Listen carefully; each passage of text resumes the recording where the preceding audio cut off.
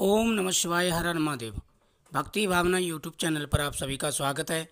दोस्तों, साल 2025 में पाँच पाँच महादुर्लभ योग बन रहे जो काफ़ी सालों के बाद में ऐसे योग बने इन योगों के कारण लगभग सात राशियाँ हैं, जो बहुत ही ज़्यादा भाग्यशाली रहेंगी।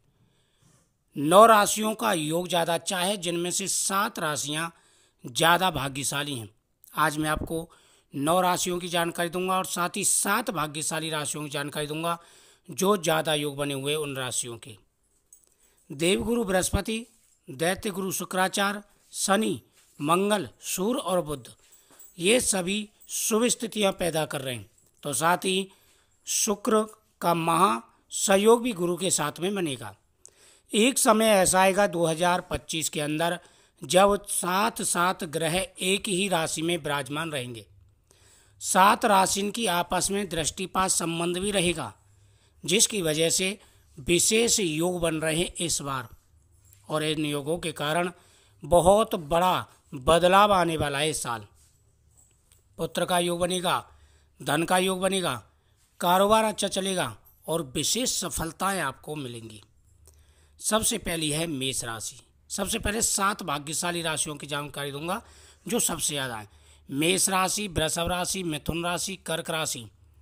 उसके बाद कन्या राशि, धनु राशि, कुंभ राशि और मीन राशि। ये राशियाँ हैं जो बहुत ज़्यादा भाग्यशाली रहेंगी नौ राशियों में से।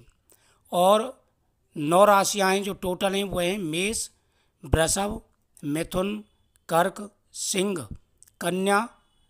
उसके बाद में धनु, मकर कुंभ।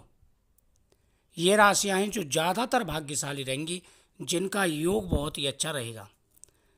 इन राशि वालों को पुत्र का योग है, धन का योग है, कारोबार अच्छा चलेगा, साथ ही आपके स्वास्थ्य में भी विशेष लाभ मिलेगा। प्रतिदिन सूर्य देव को अर्घ आपको देना प्रारंभ कर देना ही। इससे व्यापार में विशेष सफलताएँ मिलती हैं।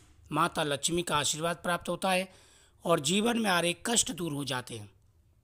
इसके साथ साथ भगवान लड्डू गोपाल जी को प्रतिदिन स्नान कराएँ, स्नान का जल पिए और भगवान के सामने फल चढ़ा करके ज़रूर खाएँ। भगवान शिव का अभिषेक करें और भगवान को चावल और गेहूँ के दाने ज़रूर समर्पित करें।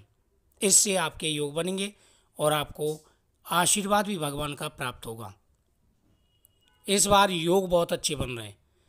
काफ़ी सालों के बाद में ऐसे योग बने जो इतने इतने ग्रह शुभ स्थिति में तो भगवान आपकी अवश्य मनोकामना पूरी करेंगे। ओम नमः शिवाय।